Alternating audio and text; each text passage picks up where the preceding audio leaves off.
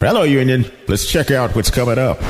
Back to School Empowerment Sunday will be held on August 28th. We'll have a special prayer to cover school employees, students, and parents. On this Sunday, we will also have a graduation presentation for the young adults who attended the Personal Development Series. We are asking all members to bring book bags by the third Sunday to support the Back to School drive.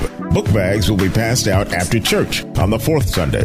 For more information, please contact Reverend Denise Wade.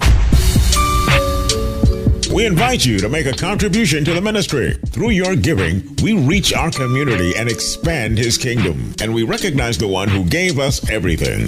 To give, you can use technology. Use the Push app or go to Giving page on the Union Baptist website. Use the Cash app. Dollar sign UBC 1200 trade. Use the Givelify app. Union Baptist Church, Winston-Salem.